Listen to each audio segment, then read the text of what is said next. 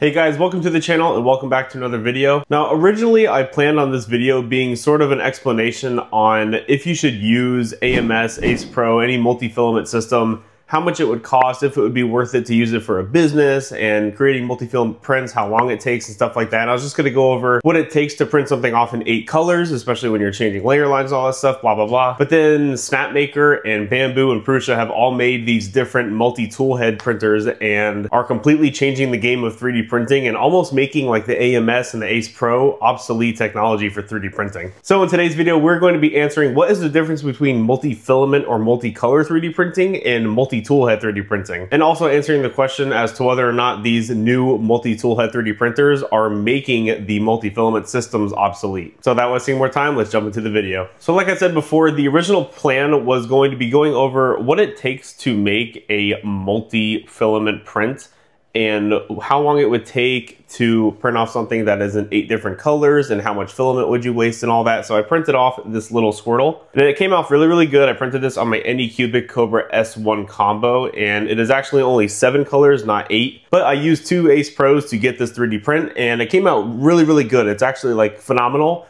but it wasted a ton of filament. So real quick, I just wanted to show you guys how much filament waste and time went into making this Squirtle model. And here is the pile in its entirety. Right here you will see this is the prime tower that is used to make sure that there's no drooping whenever it goes to print. And here is how much filament it wasted.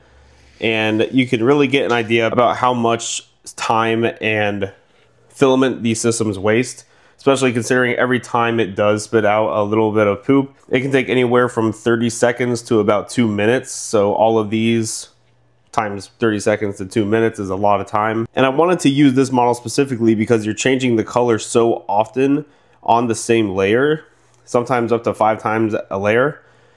It's just a really good test to see how much filament these things can waste when you're trying to make something as simple as this. Now I know that you can print off a whole build plate of this and use it for your business, but I was doing this test from a consumer perspective, so I wanted to see how much it would waste. And to give you guys an even better idea, I went ahead and weighed the filaments. That way you guys could see how much it would waste.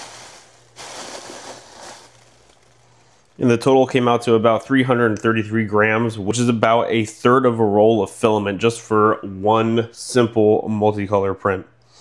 So now that you have an idea of how much filament these things are wasting, you can very clearly tell why a lot of people need a change for this sort of system and why these sort of systems can sort of cause issues with your 3D printer. Multi-tool head printing is instead of it changing out the filament and it has to spit out the old filament and run the new filament through and extrude it until the old color is off and then do a little prime tower and all that. These printers will literally just print in one color and then bring it to the back of the machine, drop that tool head off, and pick up a new nozzle with a different color and use that one to start printing. The only filament waste that there will be will be from the prime tower and that's just so that way there's no stringing or drooping filaments from it sitting afterwards. That way it's just clean nozzle whenever it goes to start printing off its layer. And it's very clear to see why this would be a game changer for 3D printing. Not only will this save space, time, filament, and money, you'll also be saving an extra outlet plug because the Ace Pros with Anycubic need their own power cord connected to the wall for them to work. You'll save a lot of space from those massive AMS enclosures. Instead, you'll be able to just hook the rolls of filament onto the machine itself. And all around, just get a lot better prints. Another huge issue that there is with the multi-filament systems and a reason that people have to waste so much filament whenever they're doing these prints is because the color has to be fully extruded and especially if you're only printing off one object at a time with different colors on the same layer you have to spit out a lot of filament to make sure that the entirety of the previous color is wiped out of the nozzle. Another huge positive about this is that after the new year and once 3D printing companies start coming out with more and more multi-tool head printers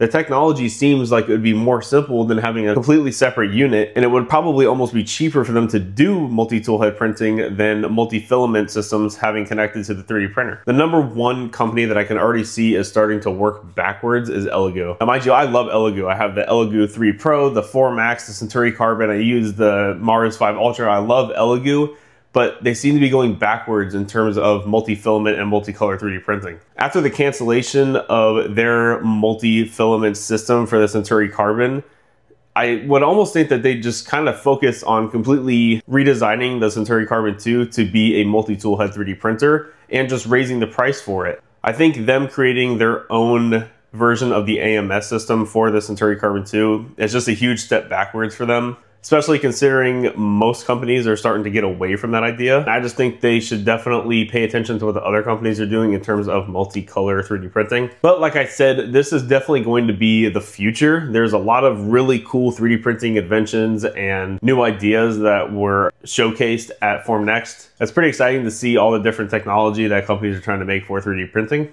So let me know your guys' thoughts down in the comments. Let me know what you think about multi-tool head printing and whether or not you think that AMSs and the multi-filament systems should be obsolete technology and whether a company should be focusing more on multi-tool head 3D printers. I read every single comment and try to reply to all of them, so definitely let me know what you guys think. If you guys enjoyed the video, leave a like and consider subscribing to my channel for more 3D printing content, and I will see you all in the next video.